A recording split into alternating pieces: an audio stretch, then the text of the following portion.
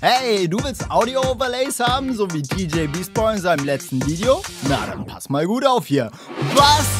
Du willst ein Overlay haben und es soll dann auch wie das hier zur Musik ausschlagen? So viel geile Witz. Mit Charme und Witz. So wie TJ Beast Boy, wenn er an seinem Mic sitzt. Also halt dich fest. Es wird famos, denn alles, was wir dafür brauchen, gibt es kostenlos. Und zwar hier auf diesem schönen Kanal. Und ich bin kein Rapper, deswegen lasse ich das jetzt mal. Und herzlich willkommen zu diesem neuen Video. Und ich möchte noch voraussagen, all die Presets, die du jetzt am Anfang gesehen hast, kannst du kostenlos finden. Und eins kannst du sogar auf meiner Webseite kostenlos downloaden. Ja, und die anderen musst du finden. Und zwar habe ich die versteckt in einem Audio-File. Und zwar in diesem hier. Um diese Audio zu entschlüsseln, gebe ich dir ganz am Ende noch einen Hinweis. Okay? Aber jetzt erstmal weiter mit dem Video, was im Prinzip eine Abwandlung des Audio Visualizer Tutorials ist, was wir das letzte Mal gehabt hatten. Und für die, die das letzte Mal noch nicht da waren, du brauchst dafür DaVinci Resolve, was ein kostenloses Videoschnitt- und Animationsprogramm ist. Meiner Meinung nach besser als Adobe, aber sagt es niemandem. Das kannst du dir auf der Blackmagic Design Website runterladen. Link dazu ist in der Beschreibung. Klickst hier auf Runterladen und dann holst du dir hier auf der linken Seite die kostenlose Version. Wenn sich DaVinci Resolve geöffnet hast, möchtest du zuallererst in Fusion gehen. Das ist der Reiter hier unten. Okay, dann brauchst du noch die Reaktor Plugin Sammlung, die ich dir auch unten verlinkt habe. Hier klickst du auf diese Reaktor Installer.lua Datei. Die lädst du dir runter und dann ziehst du die einfach in Fusion hinein. Jetzt kannst du das installieren und für die, die es schon mal gemacht haben oder schon installiert haben, kannst du unter Scripts Reaktor Open Reactor klicken. Okay, jetzt öffnet sich Reaktor und er fragt uns, welche Plugins wir installieren wollen. Da geben wir hier oben Audio ein und da wollen wir die Waveform von Yippie und die Suckless Audio Modifier. Nachdem du die beiden angewählt hast, kannst du einfach auf Schließen klicken und dann DaVinci nochmal neu starten. Okay, jetzt geht es darum, das Ding zu basteln. Aber damit DaVinci Resolve deine Audio lesen kann, solltest du es zuallererst einmal in eine Wave-Datei konvertieren, am besten mit Audacity oder Cloud Convert. Beides ist vollkommen okay. Cloud Convert ist ein kostenloser Online-Service, wo du einfach deine Audio reindroppen kannst und das Ganze dann mit diesen Settings übernehmen kannst, auf OK klickst und dann auf Convert und dir dann nochmal runterladen kannst. Meiner Meinung nach ein gutes Tool, um schnell mal irgendwas zu konvertieren. Okay, wenn du jetzt die Audio für deine Animation hast, dann wird es jetzt Zeit, loszulegen. In DaVinci Resolve möchtest du zuallererst in die Edit Page gehen, dann möchtest du hier oben unter Effects Library dir eine Fusion Composition suchen. Wenn da bei dir keine Fusion Composition auftaucht, drück einfach mal auf Toolbox, die ziehst du hier rein und dann ziehst du einfach deine Audio Frame genau hier darunter. Wichtig ist, dass die beiden wirklich zum selben Startframe anfangen. Dann verlängerst du die rechte Seite. Wichtig ist, dass du nicht die linke anfasst bis ganz nach hinten. Jetzt geht es darum, das Ding zu bauen. Auf geht's. Wir gehen in Fusion hinein. Okay, in Fusion möchten wir zuallererst einen transparenten Hintergrund erschaffen, damit wir das immer über alles andere drüber ziehen können.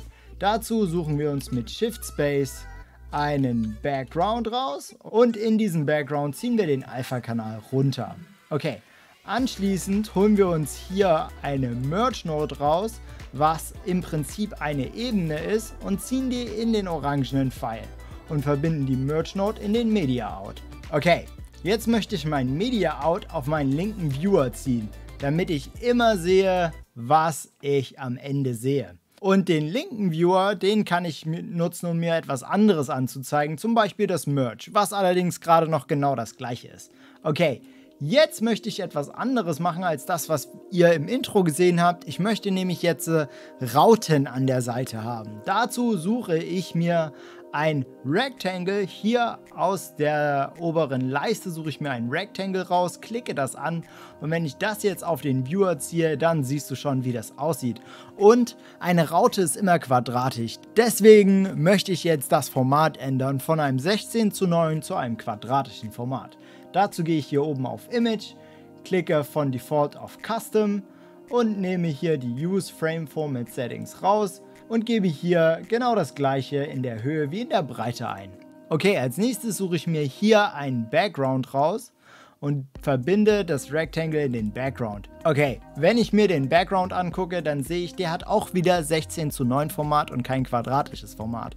Dazu gehe ich also wieder auf Image, nehme hier die Auto Resolution raus und gebe hier oben wie unten genau dasselbe ein. Okay, jetzt habe ich schon mal ein quadratisches Format. Jetzt möchte ich nur eine Outline erzeugen. Hier im Tool Rectangle auf Solid und erhöhe die Border Width. So, jetzt habe ich nur die Outline. Und die Raute möchte ich jetzt natürlich auf die Spitze stellen. Dazu gebe ich hier unten im Angle 45 Grad an. Okay, und das schiebe ich dann in der Position auf 0. Also genau an die Seite. Und wenn ich mir jetzt den Background angucke, dann sehe ich, meine Raute ist schwarz. Und das kann ich ändern, indem ich hier in den ersten Tab des Backgrounds gehe und hier eine weitere Farbe eingebe.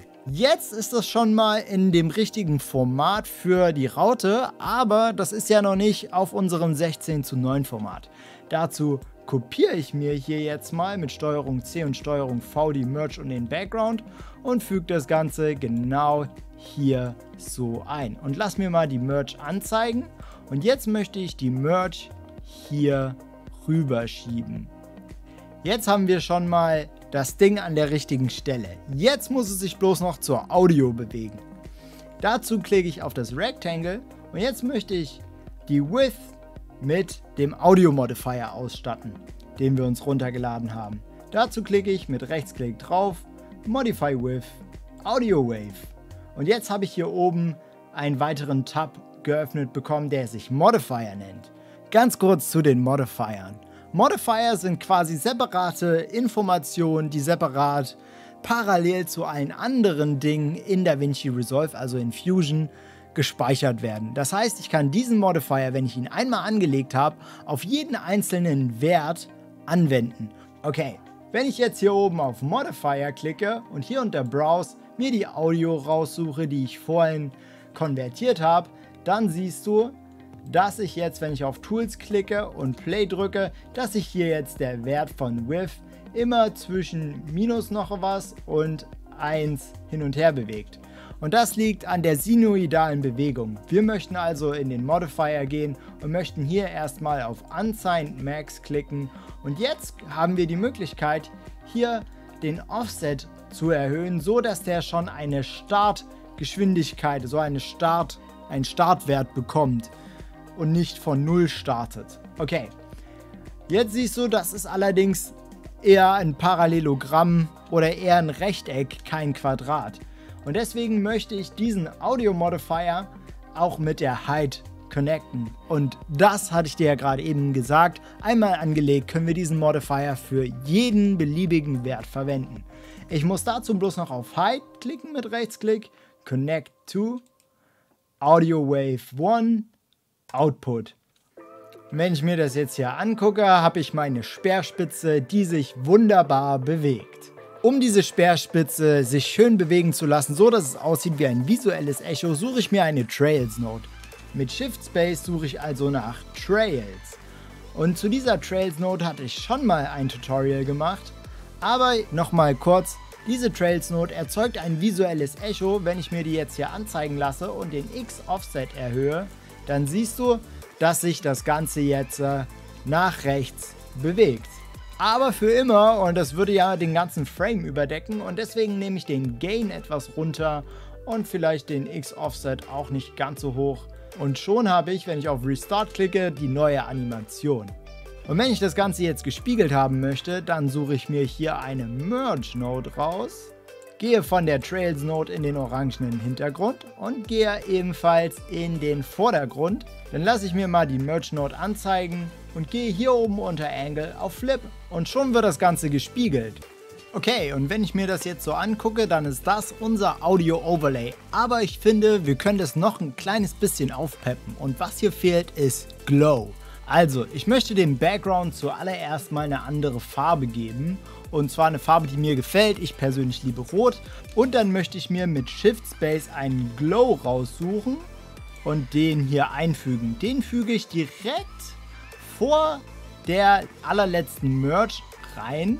So, und jetzt habe ich die Möglichkeit unter Glow Size und Glow das Ganze so anzupassen, dass es leuchtet. Und wenn ich mir das angucke, sieht das Dach schon noch um einiges spacier aus. Und schon haben wir ein richtig cooles Overlay. Oh, und apropos Audio Overlay. Jetzt kommt der Tipp, von dem ich vorhin gesprochen habe. Also wenn du jetzt noch weitere Audio-Presets finden willst, dann hör dir diesen Tipp an, entschlüssele ihn und hol dir die Presets. Viel Spaß.